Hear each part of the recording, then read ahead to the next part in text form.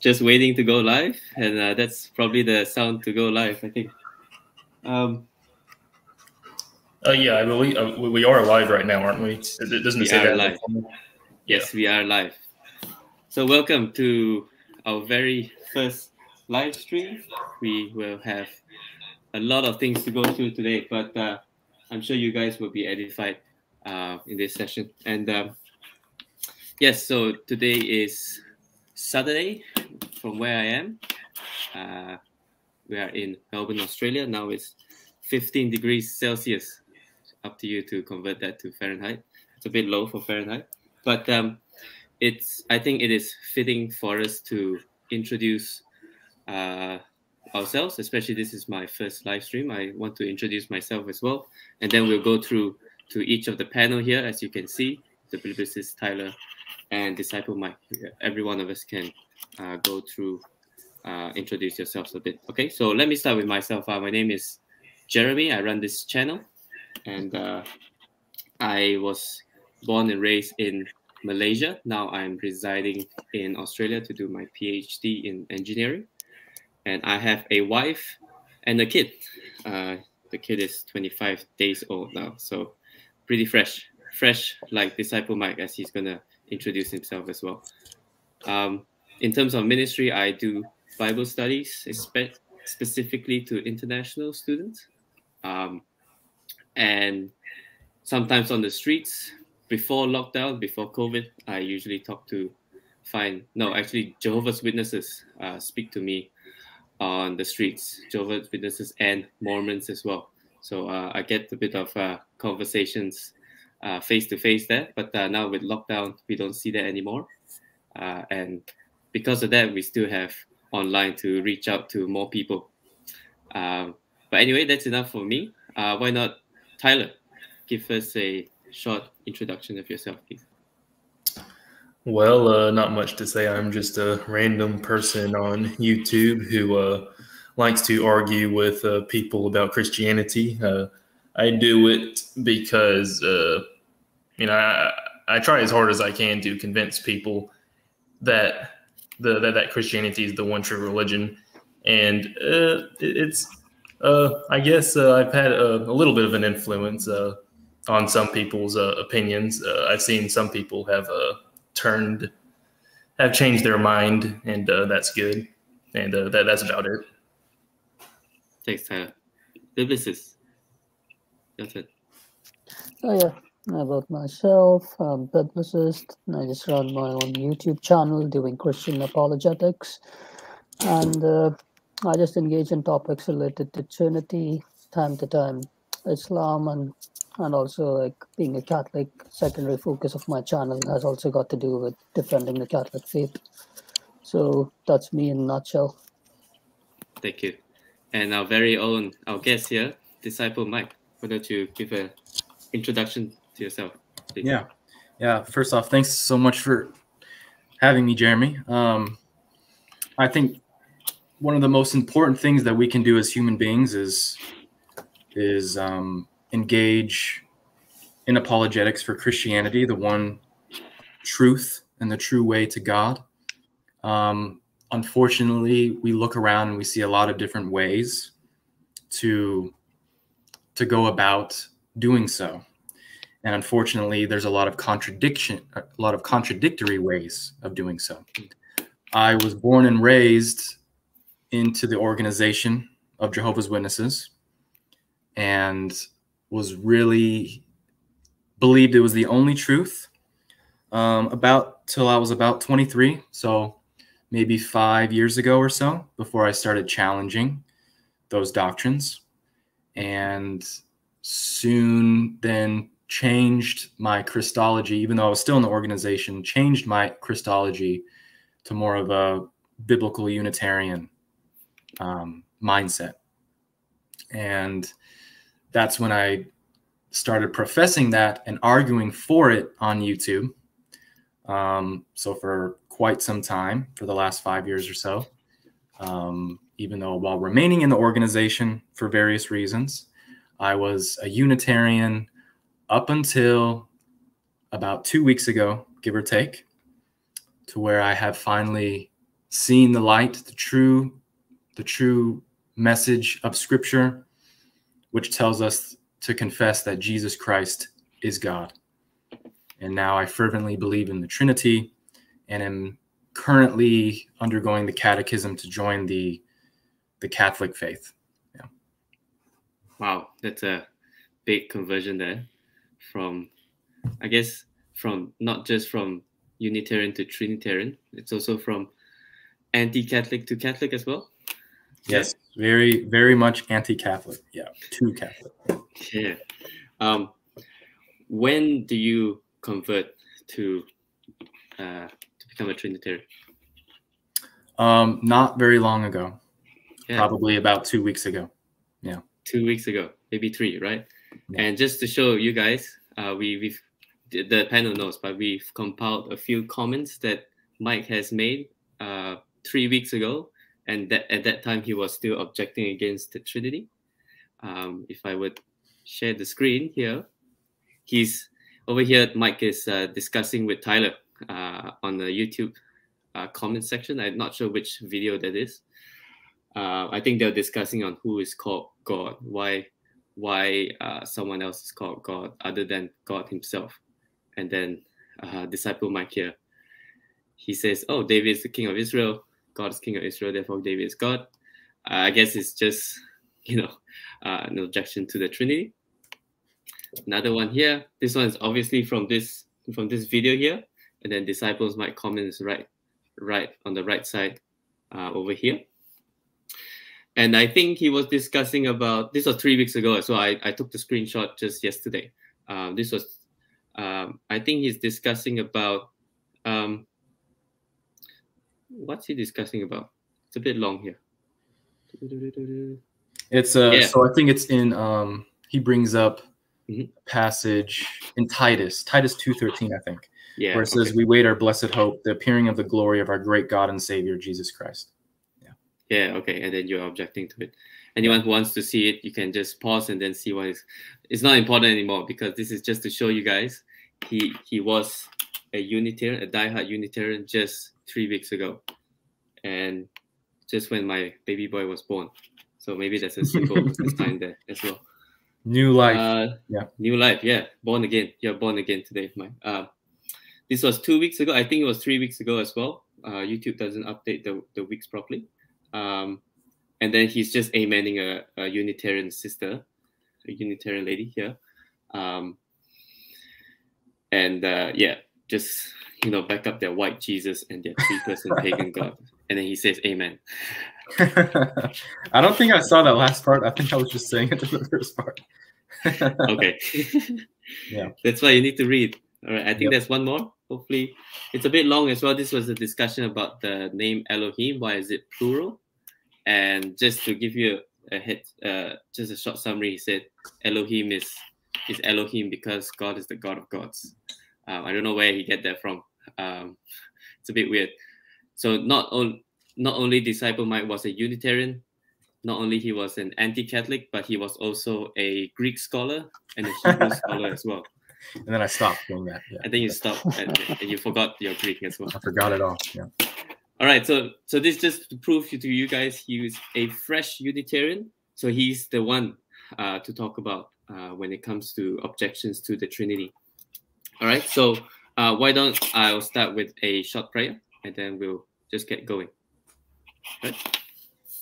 Let me pray. Father God, we thank you for bringing all of us here today. We thank you for uh, technology. We thank you for internet that we can converse even though we are from two different time zones, two opposite time zones, and two different locations as well, Lord. Uh, Lord, we pray that your spirit will be with us as we discuss uh, common objections to your uh, being, uh, to the Trinity, Lord. Uh, we pray that you put words in our mouth as we go through each of them. In Jesus' name we pray. Amen. Amen. All right, so we have a few, we have nine people in the chat. Just want to say hello. You Iwa, Iwa, Dragon, Daenerys, XYZ, XYZ, Sergeant Grinch, Ben Yusuf, and Biblicist is here. Uh, ben Beals is here as well. and then I can't I can't pronounce your name. Sorry, but uh, I think your name is Debit, right? You have an Arabic name. I'm sorry. All right, so let's go through these common objections to the Trinity. Um, the way I'm gonna we are gonna do this is um, we're gonna put it on the slide, and then Mike gonna Mike is gonna clarify whatever that needs to be clarified, and then God willing, we'll will refute that. All right. Um, just off the bat, this is not a thorough. Um, we will not give we will not give a thorough refutation to each of the points. Uh, this is just to make you anticipate what the Unitarians will come up with, so that you yourself can come up with your own arguments. Um, and God willing, that that those arguments will be biblical as well. All right. But we'll we'll we'll give our few cents, maybe more than a few cents uh, for each point. All right, depending on how excited we are uh, to discuss though. All right. So number one, the first, uh, the the go-to passage to Unitarians for Unitarians is John 17 verse 3. And I'm going to read it. That's from the New King James Version. And this is eternal life that they may know you, the Father, the only true God, and Jesus Christ, whom you have sent. I like to call this the Unitarian Shahada. If you have uh, seen, if you know a bit about uh, Islam, this is like the Unitarian Shahada. That's why I like call it. But uh, you know, it's it's it's uh, yeah. So Mike, would you like to clarify a little bit? Yep. So so the idea with this verse is to be is to try to make it clear that there are two distinct individuals being spoken about. So, and you have to know both of them to gain everlasting life or eternal life. So it says, and this is Jesus speaking in a prayer. He says, "This is eternal life that they may know that they may know you, Father, the only true God." Um, exclamation point on that. The only one that is truly God is, you know, and as well as or in addition to Jesus Christ whom you have sent. So that's the that's the mindset of going into the scripture that there are two who we need to ha- profess our faith in, the Father who is the only true God in addition to Jesus Christ, the one whom the only true God sent. That's kind of the mindset of of the Unitarian. Yeah. Yeah, so thanks for that. So um just right off the bat here, um, this is totally uh, Trinitarian. This is sound Trinitarian verse, um, although the context won't won't help the Unitarians. But let's just stick to it because they like to stick to one verse. Um, anyone like to object to this? Does anyone like to do that? Also, I can start. Oh, Tyler, let's go. Uh, oh yeah. Well, I, I was gonna say, should we like have it to where like one goes first and then the other, or? Yeah, sure. Um, maybe let's let's do a uh, uh, let's do a we, we'll take turns, right? Maybe if you don't have any comments, we'll we'll just give you, right? Um, so Tyler, you can go first, and then Biblicist, then me. Then the next one, I'll go first, then Biblicist, then maybe Mike, and then Tyler. Right. Okay, so we'll sounds good. A reverse section. Yeah. Thanks. All right. Well, uh, what I would say is this verse does not say that only the Father is God. It says the Father is the only God. The thing is, we Christians believe in only one God. We don't believe in multiple gods. So if it said that that the Father wasn't the only God, that would be polytheism. And uh, see, Unitarians will argue that this excludes uh, the Son. They'll say, "Oh, the Father is the only God, therefore the Son cannot be." But you can look at Matthew 23 10. It says, Jesus is our only master. Does that mean the Father is not our master? According to their logic, that's exactly what that means. And uh, that's uh, my response to that. Mm. Matthew 23 10 says uh, in the New King James, and do not be called teachers, for one is your teacher, the Christ. We're going to go through this passage as well later. Uh, but yeah, there's only one teacher. Is that true? Not mm-hmm. really, right? Well, I mean, I mean, the Father and the Son are, are one. So, like, you know, they're yeah. one teacher. You know, you could say because they're one God. Yeah. Yeah. Thanks, Tyler. Um, biblicist. So, like, just looking at the passage in its immediate context, if we'll just start from verse number one. I mean, John 17, the entire thing. Uh, Jeremy, you might have to zoom it to close to 200% because uh, there are people who just, you know, look on their phones. That's the feedback I get. So I have to end up zooming it a bit more. Thanks for that. Is it more? Is it good? Okay. So, So in the first versions verse, yeah, Jesus mm-hmm. says, when Jesus had spoken these words, he lifted up his eyes to heaven and said, Father, the hour has come. Glorify your Son, that the Son may glorify you, since you have given him authority over all flesh, to give eternal life to, to all whom you have given him. Okay, now just read verse 1. Why is Jesus asking God to glorify him? Who am I as a mortal man asking the one God to glorify me? And if God glorifies me, then the Son will glorify you. Mhm. Why is that? Then Yeah, because he's not a mere mortal. it, it can't be a mere mortal. Otherwise, for a mere mortal to speak this, this is just downright, say, blasphemy or arrogance. Then he Mm. just goes on to say, Since you have given him authority over all flesh, to give eternal life to all whom you have given him. So if we go to John 5, uh, I think specifically verse 19 onwards, John 5, again the same gospel, verse 19 roughly, 19 onwards, or yeah, we could just take the chapter and Me too. here we go. We just need to zoom in a bit. Uh, that this doesn't help. There you go. Oh yeah.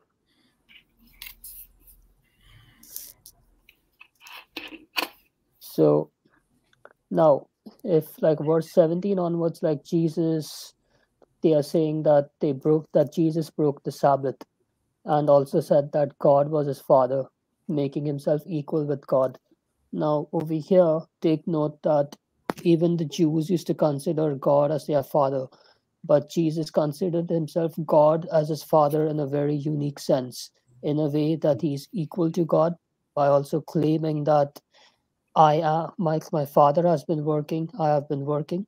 In other Matthean and Markan parallels, Jesus just says that I am the Lord of the Sabbath. So now if I'm going to verse 19, now this is important considering the resurrection of the dead. Um, this does verse 19 to I think you'll have to go all the way to 24 if I'm not okay. Sorry, it's that, it's that, sorry. My bad. Mhm.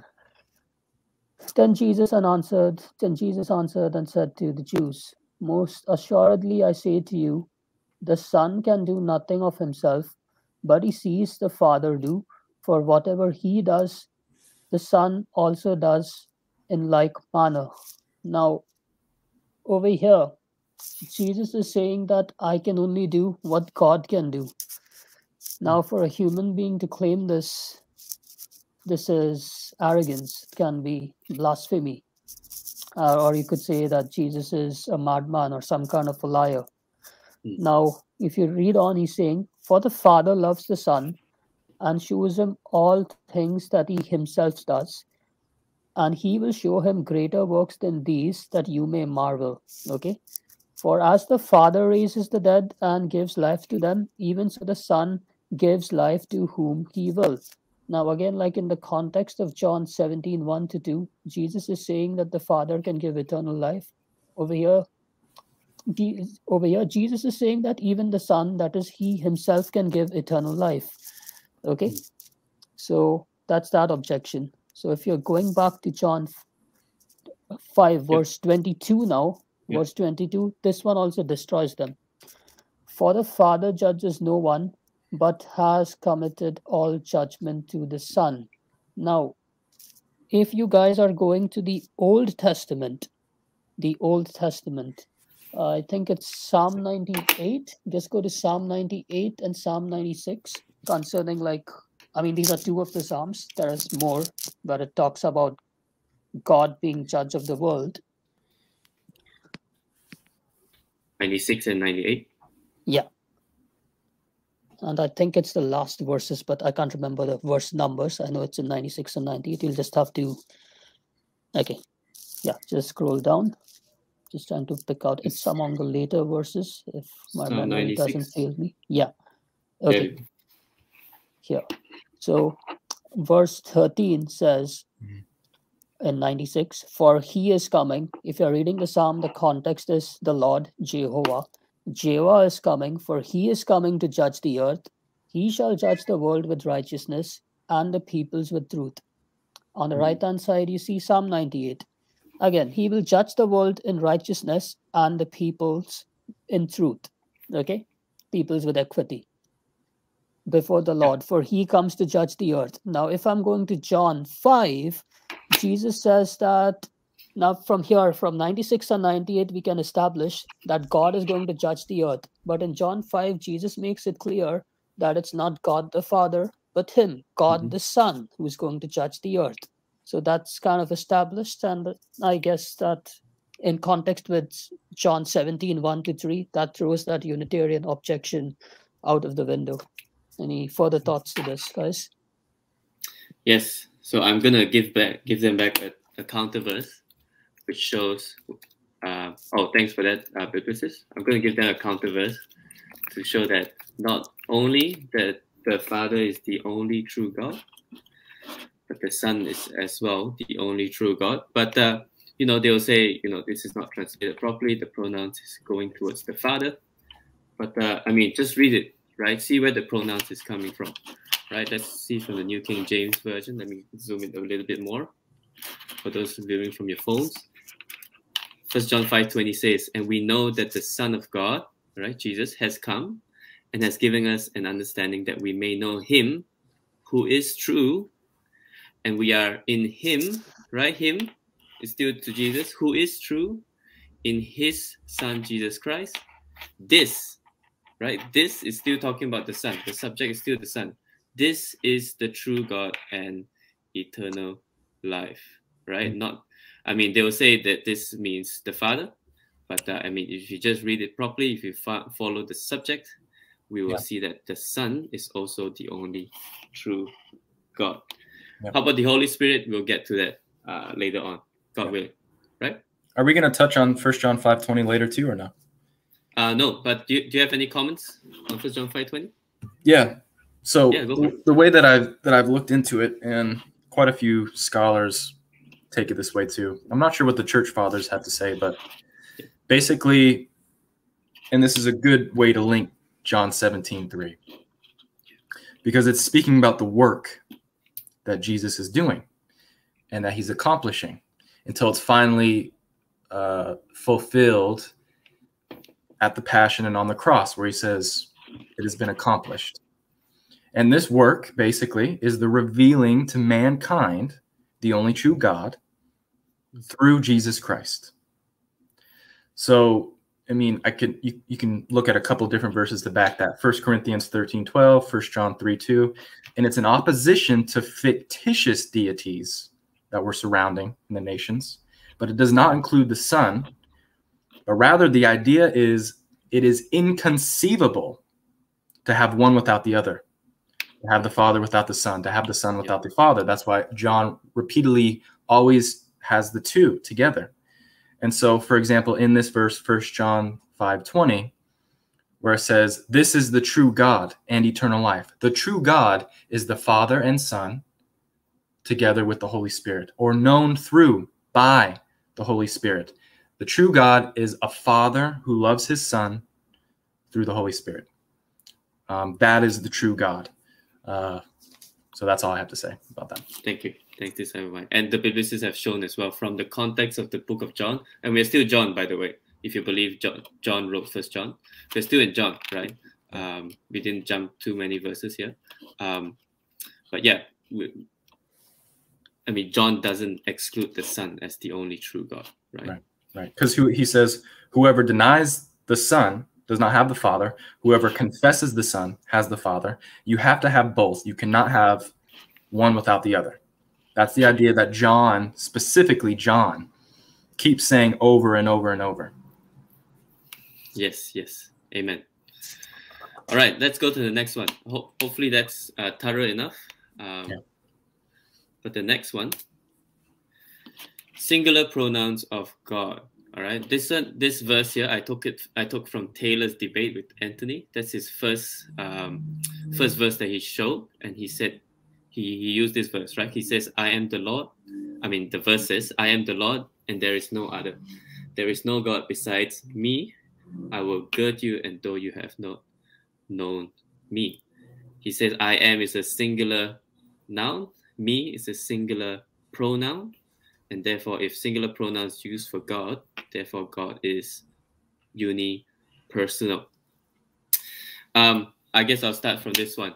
Well well if you want to say singular pronouns means singular person you're actually contradicting the bible. Let me give you one uh, example here genesis 28 it's regarding uh, jacob's the story of jacob's ladder right? Um, some of you might know this quite well. Let me zoom in. In verse 14, all right, so God is speaking to Jacob. Jacob is alive at this time, okay? In verse 14, God says to, uh, let me start from 13, right? And behold, the Lord stood above it and said, I am the Lord Jehovah, God of Abraham, your father, and then the God of Isaac. The land which you lie, I will give to you and your descendants. Also, your descendants shall be as the dust of the earth. All right. Listen to this. This is singular. All right. And I can prove it in Bible Hub if you want to want to see. You shall spread abroad to the west and the east, to the north and the south, and in you and in your seed, all the families of the earth shall be blessed. Well, if singular pronouns means singular person, um, did Jacob go from east to the west, north to the south? Not really, right?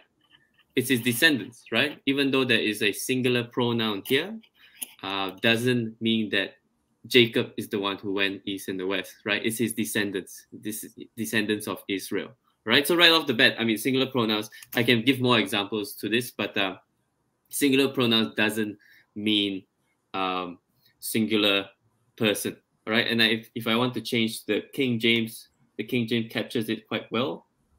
Uh, let me change to the King James real quick. If I know my alphabets, it should be here. King James.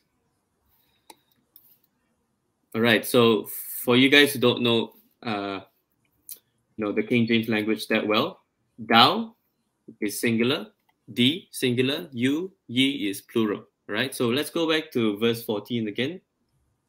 Look at that. In thy seed, right? In your seed shall be as the dust of the earth, and thou and you, singular you, shall spread abroad from the west to the east, to the north and to the south. In thee and in thy seed shall all the families of the earth be blessed. Right. So Jacob, singular, Jacob pronoun to him doesn't mean singular person.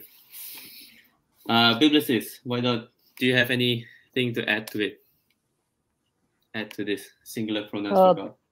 Nothing at much at this stage, but okay. uh, you could just say in certain places, like say Proverbs, I think it's Proverbs 30, verses 1 to 4.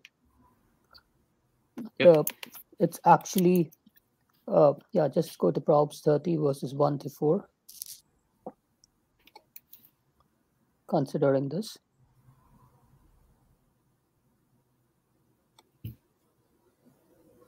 nor of the knowledge of the Holy One. Okay, specifically verse 3, it's actually, I neither learned wisdom nor have the knowledge of the Holy Ones.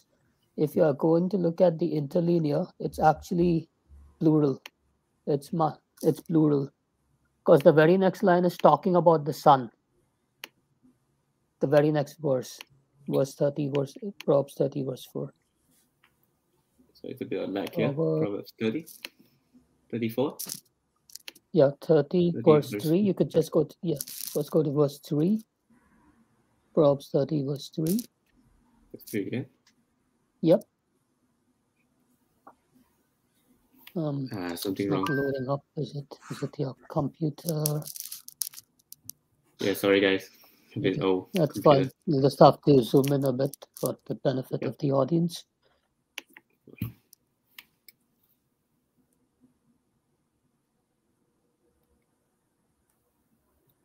Kadoshim. I'll have to zoom in a bit more. Yep. Yep. Yeah. Scroll down. And what does it read there for Kedoshim? Kadoshim, below that is adjective masculine plural. Plural. And it's seem, I am. Whenever you see Hebrew words ending with I am, it's talking about them in the plural.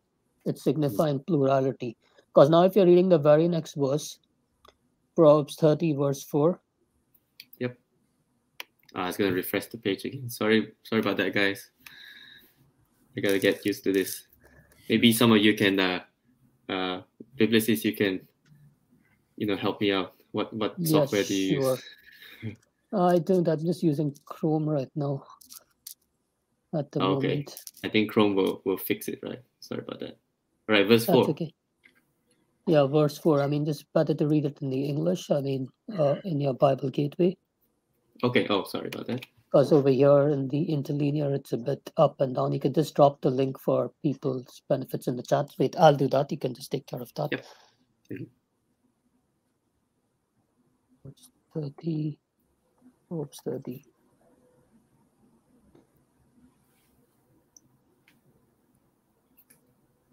Let's see. You see it, Biblicist?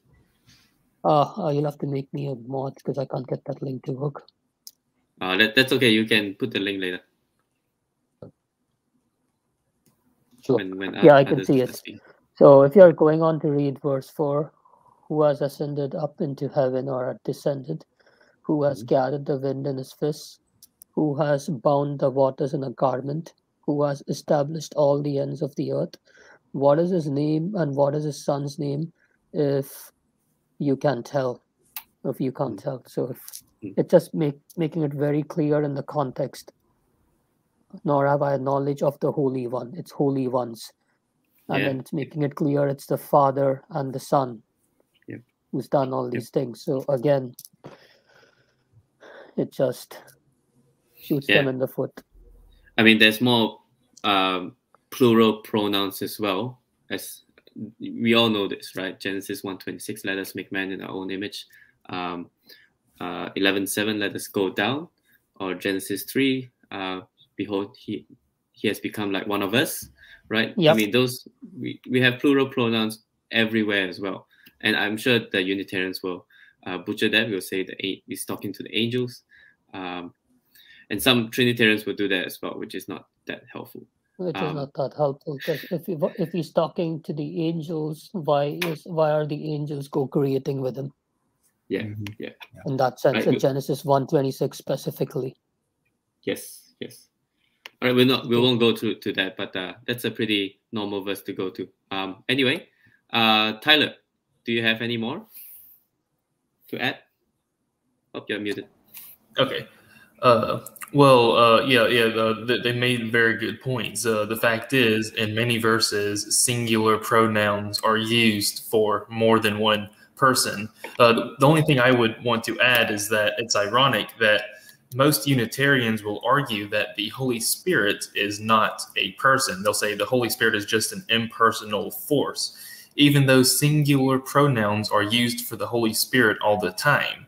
So if singular pronouns indicate a single person, then why don't they believe that that the Holy Spirit is a person? You see, it's a it's a kind you know they're they're they're not consistent with their logic. Yeah, uh, they're they're everywhere when it comes to the Holy Spirit. Uh, we'll we might get through that to the Holy Spirit, uh, hopefully. But uh, just one more last point here, if we can see it's Bible Hub.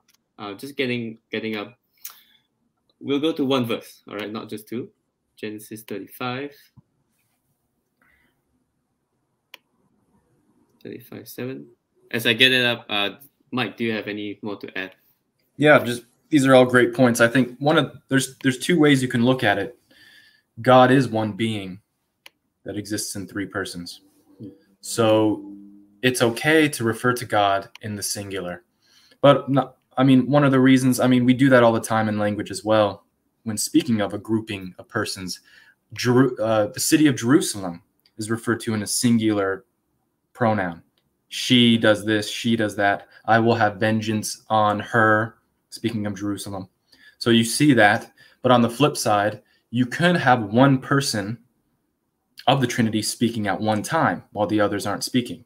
So it's just natural to to say that it's it's to use singular pronouns for them. Where the Father speaks, you'll say they'll, they'll use ver, uh, pronouns, singular personal pronouns for when the Father speaks. He is speaking. So it's it's not as problematic as a Unitarian tries to make it out to be. I think it's a little more deceptive, or they try to to force it into being a, more of an issue than it actually is. Yeah. And thanks, thanks, Mike. And over here, Genesis 35, 7. And there's another passage as well. We're not going to go to that. This one is concerning Jacob again. I love Jacob. Uh, but the word appeared here is not rendered well in the English, but in the Hebrew, I'm not a Hebrew scholar, but you can see it in the Hebrew, it's a, the word appeared here is a plural, right? A plural. Okay. It's not just, and it's not just some generic God, right? God appeared to him, the God who appeared to him. You see the, the definite article here, Ha Elohim, the God who appeared to him. It's it's plural. So if you want to translate it literally in English, it's they appeared to him. So that's a, I mean, that's a um, plural verb here, which in English will be translated as a plural pronoun. Right? Um, so hopefully that the people who are watching is being uh, edified right now. We are only in our second point, and just one more point on the Father, and then we'll go straight to Jesus. Okay, so next point is First Timothy 2 5 For there is one God and one mediator between God and man, the man, Christ Jesus. I emphasize the man a lot. Um, but uh, Mike, what do you is there any more to clarify from here? Yeah, again, this is similar to the John 17 3. It's it's seeing a distinction of person and then emphasizing that distinguishing and trying to use that as the argument. So here we see there is one God and one mediator between this God and men, the man, Christ Jesus. So that's a go to scripture. Yeah. Uh, unfortunately, I used that before when I was staunchly anti Catholic as well. Mm. Um, but uh, I mean, reading the context, you know that you can actually help both both sides here. So Tyler, uh, what what do you say about this? Well, I would say that this verse disproves the deity of Christ about as much as it disproves the humanity of Christ. You know, they say Jesus cannot be God because he mediates between God and man. So, according to that logic, he cannot be a man because he mediates between man and God. Uh, he, he, he's the mediator because he is both. Uh, the, the, best mediator is uh, someone who can, uh, you know, see the perspective of both sides. And Jesus is the perfect mediator because he is both God and man. Mm. Thanks for that. Um, very concise, Taylor. You, I think you can go for debates, right? Um, but uh, Biblicist, do you have any more to add? Um, nothing more to add to this. You guys. That's okay. Yeah. Um, I was just trying to give a buffer so I can get get the verses up here. Um, let's see. Let's see if it works. My my computer is so laggy. Sorry about that, guys. There we go. Okay, we we've looked at this passage just now, Matthew twenty three um, and I'm emphasizing on the word one here, heis, right? One. They like to see one God, one man. So if Jesus, if the Father is the one God, there can't be more than one God, which is a, a straw man again. We don't believe in more than one God. Right. Um, so let's let's emphasize on the word one here. Okay, we, we've seen this before, Matthew 23. But you do not come do not be called rabbi, for one is your teacher, the Christ, and you are all brethren. First of all, this is talking about the teacher, the Christ. Uh, so that does that mean the Father is not the teacher? But if we compare that to First Corinthians 12, You see, there's more than one teachers now, and appointed these the church first apostles, second prophets, third teachers, right? It's plural. After that, miracles, gifts of healing, helps, administration, varieties of tongues. Are all apostles? Are all prophets? Are all teachers?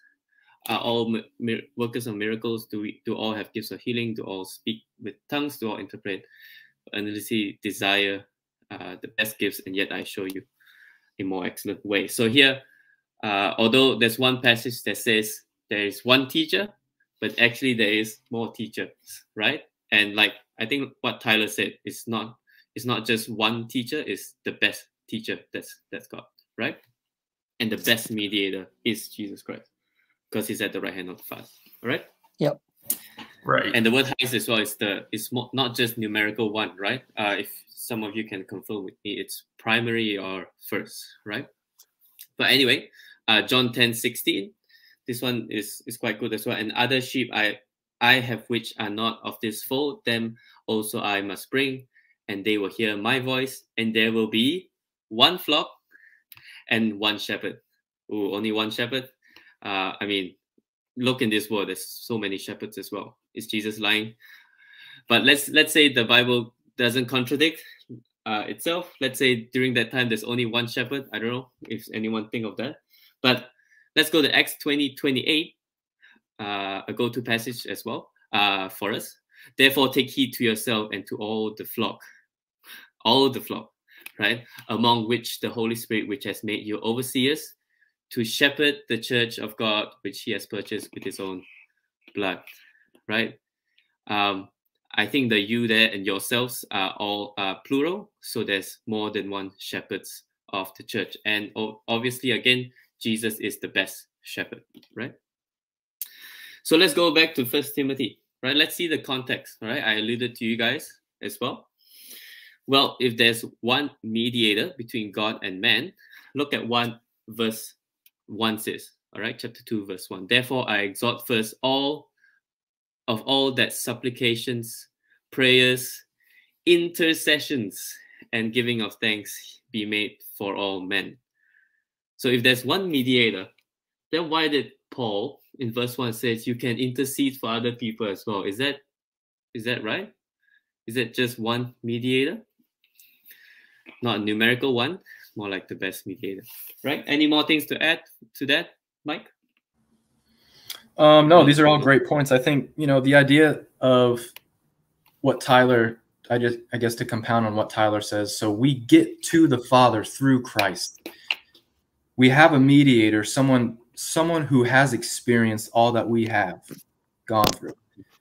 He's had, he's, he's lived a life, a full life as a human being, who's experienced pain, who's experienced grief, who's experienced all these things and he now he can intercede on our behalf to the father. So i think it's a beautiful thing um, that highlights the humanity of jesus christ who he, he is still human. He's still a man that sits at the right hand of the father.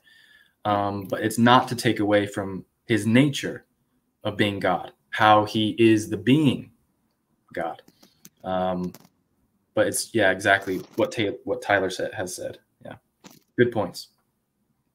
All right, let's, let's turn to it. Um, now we'll begin to talk about Jesus. Right, this is a this is a philosophical question that uh, or statement that uh, Unitarians always pose to us, as if you know it's not this is not biblical, right? It says they will usually say Jesus can't be 100% God and 100% man and I had a Unitarian say, "How can you be dumb and smart at the same time, or full? A cup can be full and empty at the same time." These are all philosophical questions, right? Well, this is a, a case of says you, right? Like I like to call that says says who or says you, right? Only you can say you say that you can't be that, uh, but the Bible actually is is um, you know clear on that, right? We say 100% God, 100% man because the Bible says it, right? And just to just to show that this question was asked by the unbelieving Jews as well. I, am going first, and then Tyler can can continue, or Biblicist can continue on. Um, am I going first this time? I think it's okay. I'll, I'll just go first. Um, this this sounds like the question that the unbelieving Jews asked, right? Uh, John six forty two, right? After discussion of him being the bread that comes from heaven, that comes from the Father, right? And he comes from heaven. Uh, the Jews said, "Is this not is is not this Jesus, the son of Joseph, whose father and mother we know, right? So they think that Jesus is just a man, right? How is it then that he says, I've come down from heaven? Even they ask the same question. Those are unbelieving Jews, by the way. And if you want to say they they just um, you know they uh, didn't understand what Jesus means, Jesus himself poses that contradiction to the Sadducees, to the unbelieving Sadducees in Mark chapter 12. A lot of Unitarians like to use Mark chapter 12, uh, which parallels Deuteronomy 6 4. But in the context in verse 37, uh, he just got done quoting Psalms 110. Um, and then he says, Therefore, David calls him Lord. The Lord says, To my Lord, see at my right hand till I make your enemies a footstool for uh, thy feet, right? In verse 37, therefore David himself calls him Lord. How is he then his son? Right? It's a it's a good question that Jesus posed to them, right? Um, and Jesus always asks rhetorical questions, right? But over here we can see the Sadducees couldn't believe it, right? The Sadducees, uh, Jesus asked them, "Who do you think the Messiah is? He's the son of David, right? He's just a man, the son of David." But how then David calls him Lord, right? Now, um, I would like to go to Philippians, right? Philippians 2. This is a, this is a very, very uh, great passage to show the deity of Christ, that he is both man and God. All right. Look here in, in verse 5. I'll just read it to you guys. Let this be in let this mind be in you, in which also in Christ Jesus, who being in the form of God, did not consider it robbery to be equal to God, but made himself of no reputation, taking the form of a bond servant. You see the two forms there? He's the form of God, and then now he's a form of a bond servant, coming in the likeness of man. Right? If he's if he didn't, uh, I mean, if he's if he's not God, how can he come in the likeness of man? All right, he just was just born. No other man will be called likeness of man, coming in the likeness of man. I'm sorry. And verse 8, and being found in the in appearance as a man, he humbled himself and became obedient to the point of death, even death of the cross. And therefore God also has highly exalted him and given him the name which is above every name. All right, now back to the uh, deity of Christ, that at the name of Jesus, every knee should bow and every tongue confess that Jesus is Lord to the glory of the Father. All right, and this this verse here uh, is parallel to Isaiah 45, which uh, our friend used quote verse 5, but in verse 23, Paul uses that to Jesus. I've sworn by myself, the word has gone out of my mouth in righteousness and shall not return, that to me every knee shall bow, every tongue shall take an oath. All right, so this is these are just the passages to show that Jesus is 100% God, 100% man. And yeah, uh, Biblicist, why don't you do you, do you have any more things to add? No, yeah, just a couple of things. Yep. Uh, on uh, on Mark, if you'd go to Mark twelve thirty seven, uh, actually you should start reading from Mark twelve twenty nine to twelve thirty seven. Mark twelve twenty nine to twelve thirty seven. So this, yeah, man, just zoom the screen because we have a couple of uh, people here. There's faithful servant serving and biblical corner. I've been having a Ah. ball of a time in the chat section. Okay, Hello. good you brought up. Yeah, welcome these people. Okay, and I hope they are listening. So Jesus answered him. The first of all commandments is this is Hear, O Israel, the Lord your God, the Lord is one. Okay, so now this is what a Unitarian will use. And this is also the same words which oneness modalists will use to prove their case. Okay.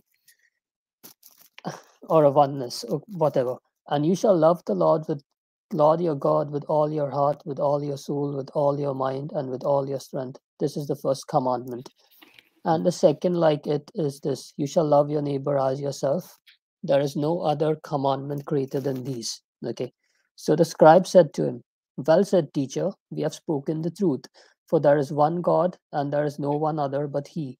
And to love Him with all his heart, with all the understanding, with all the soul, and with all the strength, and to love one's neighbor. Scroll down.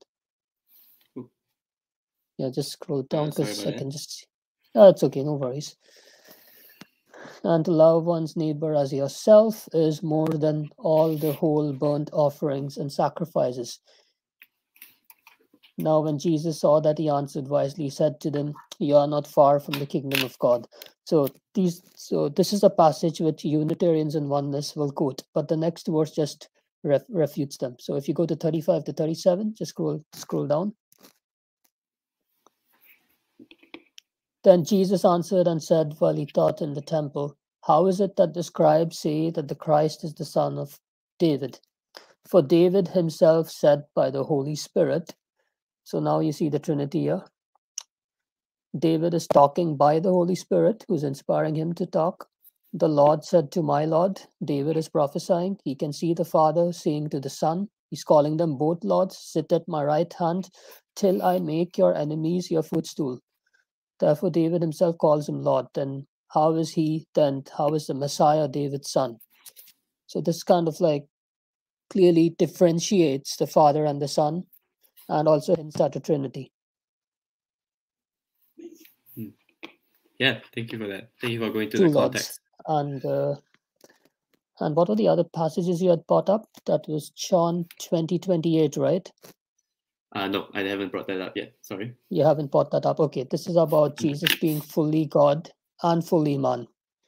So I could Um, see faithful servant, servant uh, serving is arguing that when Jesus was in heaven, he was the Father, but when he came to earth, he was flesh. But I don't know what's he saying, and she's just contradicting herself, saying he was like a man, or was it the other guy? So just go to John 20. Okay, yeah, see. Gnosticism. This is 20? downright Gnosticism. So just go Yep, to um, John. tw- What? What? We'll go to John twenty in the next next one. Um, Sure. but uh, th- thanks for that, Biblicist. Um, Tyler, No do you have anything to add? Uh, no, I think uh, the biblicist uh, hit the nail on the head. There we go. And if you want to go John 20, 28, we'll go there uh, next. And the argument is Jesus is never called God, right? But I don't know, Unitarians are a bit confused with it. Oh, I thought David is God because he's king of Israel. I thought uh, Moses is God, you know, Exodus 7 1, Exodus 4 16. Um, I thought they are God, right? But then they say Jesus is never called God, and I'm not sure. Um, but Mike, uh, why don't you clarify this one a little bit? Yeah, sure. The idea is that in the sense of the Father, as God Almighty, Je- Jesus is never explicitly stated as that. Now, when you show them verses like John 20, 28, they'll the way that they interpret the passages are different. So the passages in which I would say he actually is, um, the interpretations, they'll find a loophole, whether it's a manuscript variant or uh, an interpretation. There's always some way out. So um, it's basically the idea that he's not, and then you'll, yeah, we know that he's not the father. Um, but the idea that they'll use is that Jesus is never referred to as the Almighty God. That's the idea. So the verses where Moses is, or where Satan, even Satan the devil, is called the God of this world, um, or where angels or judges are referred to as God, it's not the one true God. Now the problem lies then. Well, I'll leave it at that. I'll let you guys talk. Yeah. It's okay. Um, all right. So I have John 20, 28 here. This is let's let's go to that. Um, he's called God here, apparently, right? What do you say, Biblicist? You you wanted to go John 20? Sorry, I was just muted. Okay. okay. So, so if we could just uh, go to the context of this verse, we'll just go John 20 completely. Because over here we could just say he's both God and man, because that's the objection we are answering. Yep. 100% God and 100% man, Yep, we can ask that too. just for the benefit of these anti Trinitarians and for those who want to hear. Hmm, Okay, thanks. so yeah, from 24. So, you know, this is about a week after Jesus' resurrection. All the disciples, but Thomas, haven't seen him, and he wasn't believing that. So now Thomas, called the twin, one of the twelve, was not with them when Jesus came. The other disciples therefore said to him, We have seen the Lord. So Jesus said to them, Unless I see in his hands the print of the nails, and put my fingers into the print of the nails, and put my hand into his side, I will not believe. Okay. And after eight days, his disciples were again inside, and Thomas with them. Jesus came, the doors being shut, and stood in the, stood in the midst, and said, Peace to you. Then he said to Thomas, Reach your finger here and look at my hands, and reach your hand here and put it into my side. To not be unbelieving, but believing. And Thomas answered and said to him, My Lord and my God. Now, if Jesus wasn't man, why was Thomas asking to look into the, to his wounds to believe that? And then Jesus came over there and he told them, Come on, just touch, touch me. Prove that I'm not a ghost. I'm not some kind of a spirit. Hmm. So he's both God and man over here. That objection just goes out of the window. And one more verse, Yep. just one more verse, just to Is it Psalm 35? uh, rebuke it. Yeah, yeah. That's that's a 35. Psalm 35 parallel. That'll be Psalm 35 verse 23. If I'm not wrong. So the so the phrase "my Lord and my God," just to allude you guys here, it's never used for anyone uh, other than God Himself in the Old Testament. Praise my Lord and my God. 20, 35, 23, right? Yeah, verse 23. Yep. It's just the reverse over here. Yeah. To my cause, my God and my Lord. And if you are reading the Greek variant of this, it just actually translates to the God of me and the Lord of me. Whereas in John 20 28, the Greek reads the Lord of me and the God of me. Kyrios and then Theos. Over here it's uh over here it's ha Theos and after that it is ha Kyrios. Yeah, and this is not the the name of God, right? My Lord here is Adoni, right? Or Yep. Yeah, it's it's not Yep. Jehovah, right? Yeah, It's yeah, not there's no it's there's no not, all caps. it's not capital because verse Yeah. 22 it's Yahweh or Jehovah in verse 22 but over here it's just Adonai or Kyrios in the Greek. Yeah, yeah. Right, uh, Tyler, do you have any more to add from this? You're muted, Tyler. Uh, uh, yeah. So, um, so yeah, uh, just three things. First of all, as you guys have pointed out, it is not true that Jesus is never referred to as God. He's referred to as God in like half a dozen different verses or something like that. Like you know, the the, the uh, name of the, the word God specifically is attributed to him. So, this, so that's the first point. Secondly, he is called God in other ways, like he is called the Lord. You know, the Lord of Lords, the Lord of the Sabbath. Uh, he's called the uh, he's called the author of life, for example, and you know, so he's called many other things which indicate that he's. There was a dog. Sounded deadly. That's, Sa- that's Satan trying to silence us. Yep. Yeah. It's okay. Are you there still, Tyler? Uh, he's he's gone. That's okay. Um, there's one way that he's called God. Uh, he, you don't need for him to be explicitly called God, but things that attributes to God, the prerogatives of God, right? Um, let me just go to Colossians one and Hebrews one, and then we'll we will also we also went to uh, Psalms chapter two just now. So that's one way he's called God. by alluding to the Old Testament text that he's called God. But the doctrine of creation is attributed to God. It, no one else created uh, the heavens and the earth, right? Only God did, unless those Unitarians want to say the angels as well, um, which is a heresy, by the way. Um, no one thinks a an angel created us. But uh, Colossians 1 uh, and Hebrews 1. We'll go to Colossians 1 first, uh, since we wanted to touch on that uh, prior to this. Colossians 1 15 to 17 or 18, all right? He's the image of the invisible God, the firstborn over all creation.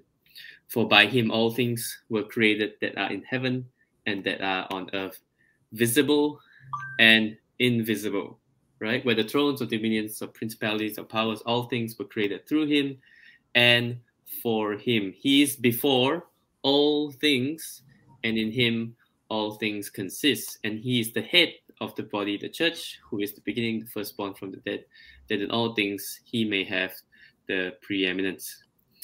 Tyler, you're back. Do you have anything to say about this one? Since we want to talk about this.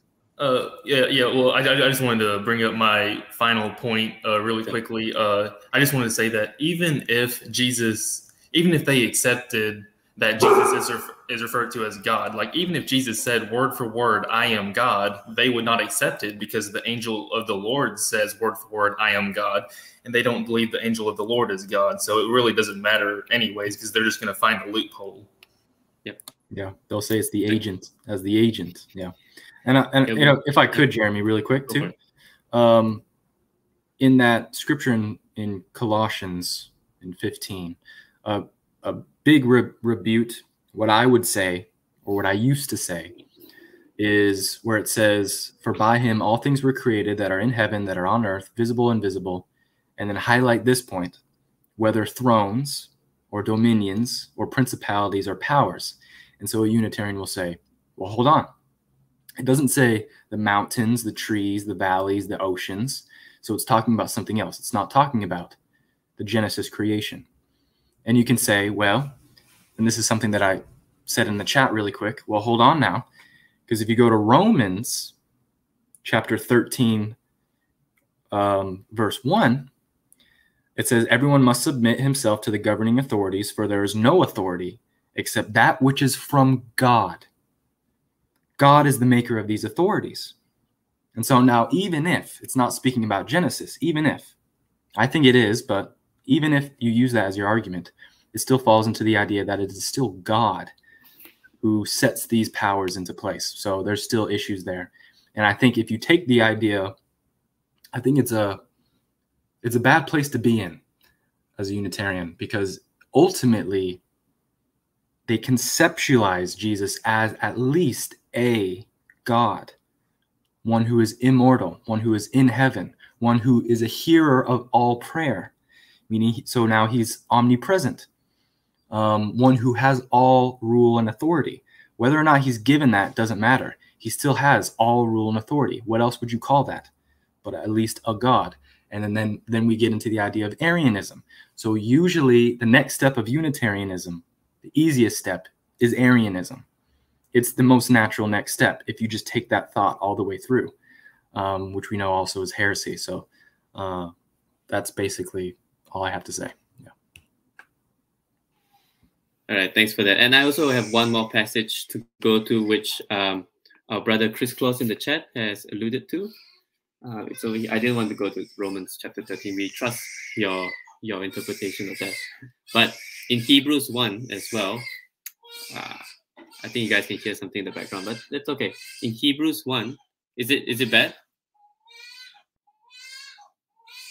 Is it Yep, bad? I can see I can see Hebrews one. Oh, but is the The sound ba- bad? it's okay. It's not that bad. It's not that bad. It's Okay. okay. It's all right. Cool.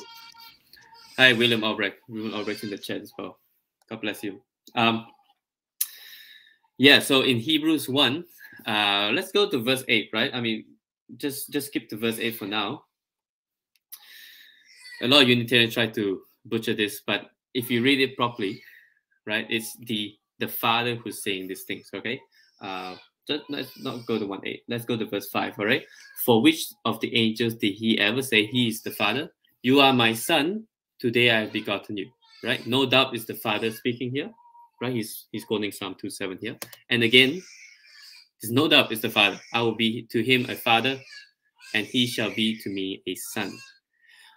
But when he again brings the firstborn to the world, he says, Let all the angels of God worship him. And of the angels, he says, Who makes his angels spirits and his ministers a flame of fire. So it's natural that the Father is speaking, right? So when the Father speaks here in verse 8, but to the Son, he says, Your throne, O God, is forever and ever. A scepter of righteousness is the scepter of your kingdom.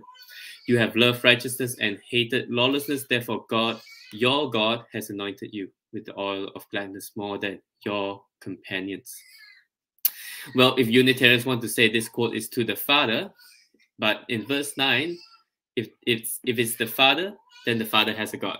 That doesn't make sense to uh, that doesn't make sense to Trinitarianism, more so Unitarianism, right? And also, if if it's about the Son, that's that makes perfect sense with Trinitarianism because the Son became flesh and God is a God of all flesh. You can see that from the book of Jeremiah. But let's go back to the creation narrative again. Um, Hebrews 1.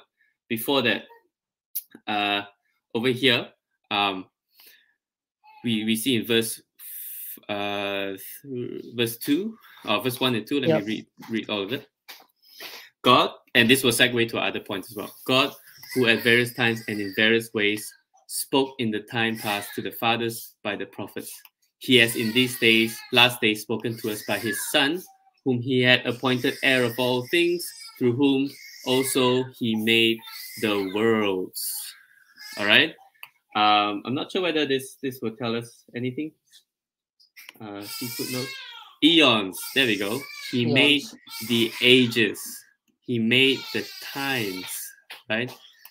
So this will segue to Jesus's pre-human existence. Okay, not only Jesus created all these thrones, dominions, authorities, he also created time, the ages, the eons. Okay, so let me go to back to the point here. Our last point was Jesus is never called God. We have we have ultimate out we have decimated that point already.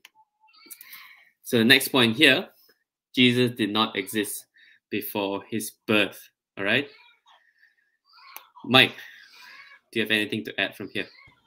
Right. Yeah. So the idea here is expressed in, for example, Matthew, um, where it's spoken of as the beginning of Jesus Christ, or the uh, the actual word is the Genesis, the Genesis of Jesus Christ, um, the starting point of Jesus Christ. And so a Unitarian will say, how can how can a person pre-exist himself? That doesn't make any sense um, with when denying the idea of a pre-human existence. Um, so the idea that they'll use is the, the narrative that we're presented in the Gospels is consistently portrayed as Jesus Christ, the man, which is true, began in the womb of Mary, denying denying, however, the pre-human existence. Yep, thanks, Mike. Um, I already shown you in Hebrews 1 uh, that Jesus created the time, so he can't, he of course exists before that, before his birth. Um, but anyone, uh, maybe Biblicist you haven't spoken for a while. What do you say about this uh, objection? So, just to begin with, if he didn't exist before his work, if we just go to John's Gospel, the prologue, the very prologue,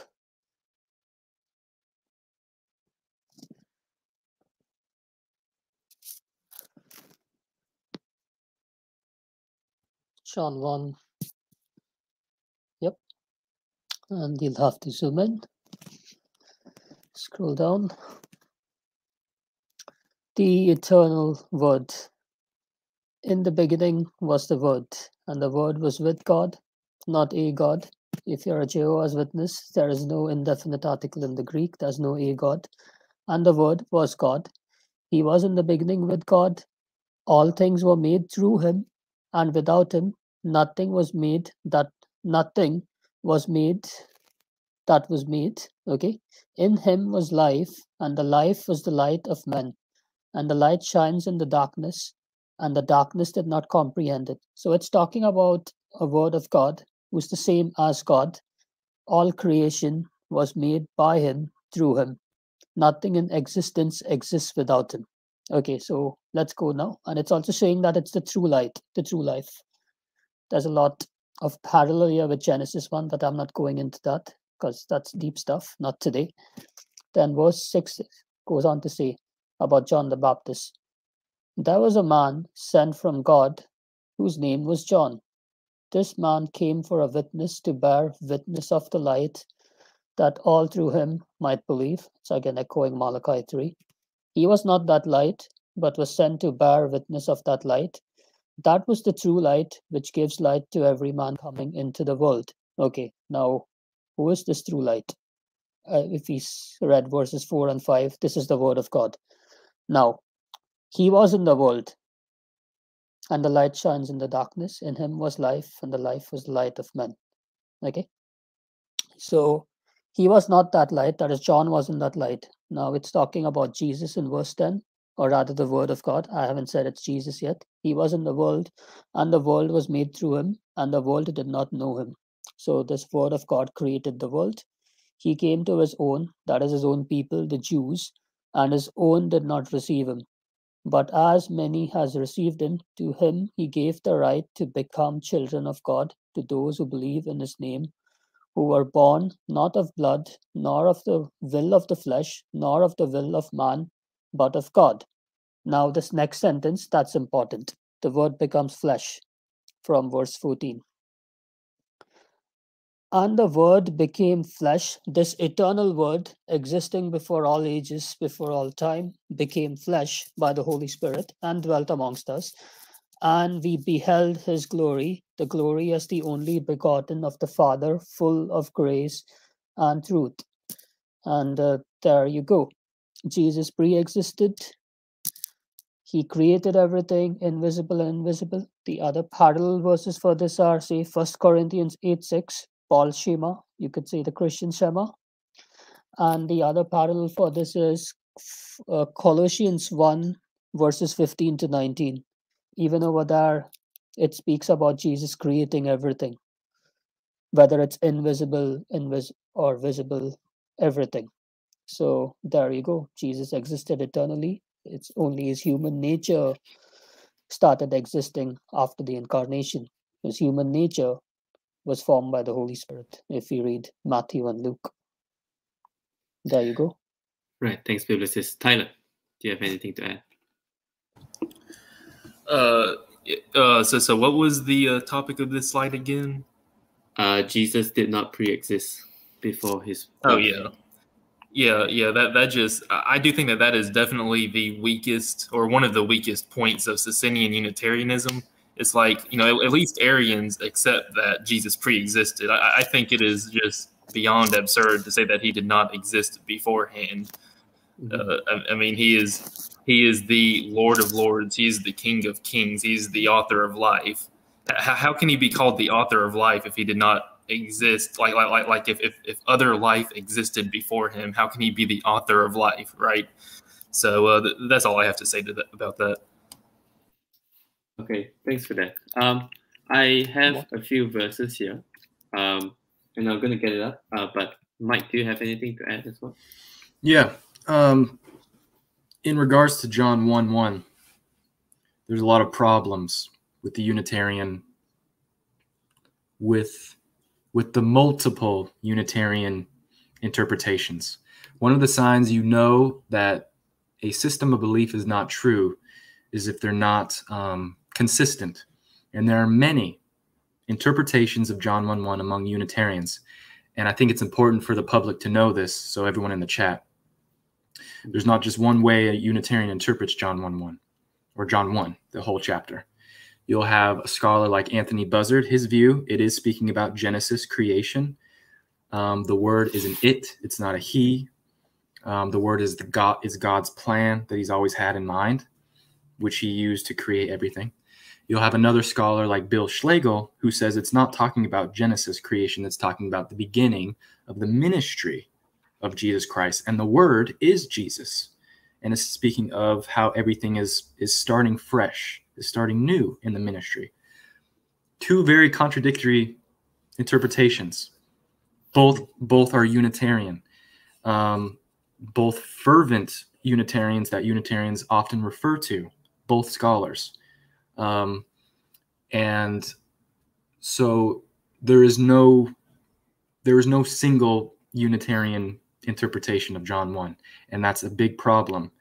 Um, you know, there's there is a lot of problems when studying John 1, looking at the history, looking at the context of language, uh, to deny the pre-existent personhood, the personhood of the word. Uh, that's all I have to say. Yeah. Yeah. And just just to add on a few things here, um, even if they don't like, I mean, they try to butcher John 1 or the creation narrative for Jesus, at least um, to Paul and Jude, uh, he actually was active in the Old Testament, right? So I have a few verses here, First Corinthians 10, um, talking about temptation, uh, being tempted. Um, and over here, we see, uh, let's, let's read uh, from verse 1 to 4, right? Um, For I do not want you to be aware, brothers, that our fathers were all under the cloud. All right, it's talking about the the Exodus here, and all passed through the sea. Right, no doubt it's the Exodus, and all were baptized into Moses in the cloud and in the sea. Right, Moses. That's the Old Testament here. Right, and all ate the same spiritual food, and all drank the same spiritual drink. Right, and they drank from the spiritual rock. Right, it's not an inanimate object because it has because this rock followed them, for they drank from the spiritual rock that followed them, and the rock was Christ. It's not the Father, the rock was Christ, right? And then it goes on to say why uh, these guys also tempt Christ, right? Uh, verse 6 Now these things took place as examples for us, that we might not desire evil as they did, to not be idolaters as some of them were right? Still talking about the, the Israelites in the wilderness. As it is written, the people sat down to eat and drink and rose to play. We must not indulge in sexual immorality as some of them did, and 23,000 fell in a single day. We must not put Christ to the test as some of them did and were destroyed by serpents. How can they tempt Christ if, you know, Christ did not pre-exist before becoming flesh, right? Supposedly he became flesh at 0 AD. This is way before that, right? Or 180, all right? Um, if you guys have not, nothing to add, I have I also Hebrews 11 also talking about Moses, right? By faith, Moses, when he was grown up, refused to be called son of the Pharaoh's daughter, choosing rather to be mistreated with the people of God than to enjoy the fleeting pleasures of sin. He considered the reproach of who? Christ greater wealth than the treasures of Egypt, for he was looking to the reward. How can he consider the reproach of Christ if Christ haven't existed then? And then one more last verse. I chose the ESV, and biblicists will touch on it a little bit as well. Uh, but the ESV uh, says says this in Jude five. Now I want to remind you again. It's, it's in the Exodus. I want to remind you, although you once fully knew it, all right, they knew as well that Jesus who saved a people out of the land of Egypt afterward destroyed by those who did not believe. Right? Uh, Biblicist, why don't you touch on this a little bit on the manuscript? Okay, so now what people, critical scholars, want to argue was the word over here wasn't actually Jesus. It talked about the Lord or God. So it could have been the Father in uh, due to liberal scholarship yeah that the lord who once saved. So then it becomes unclear whether this was this is, is it actually talking about jesus or is it actually talking about the father?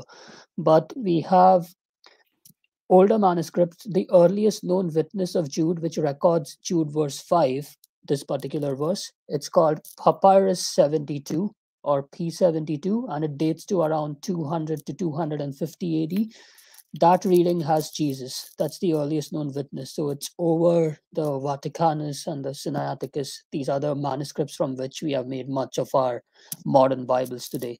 And those manuscripts need to be taken with a grain of salt. Just because they were complete Bibles, it doesn't necessarily mean that they the scribes did a really good job because they came from the Alexandrian tradition. Hmm. Okay. Uh, but, but this is why don't you give a relative kind of, uh, you know, how early other manuscripts are that we use today? How early you know? in, in Yeah, what so- sense? How early is is 200 to 250 AD early? or late? it's very it's very early. It's very Hmm. early. Yeah, okay.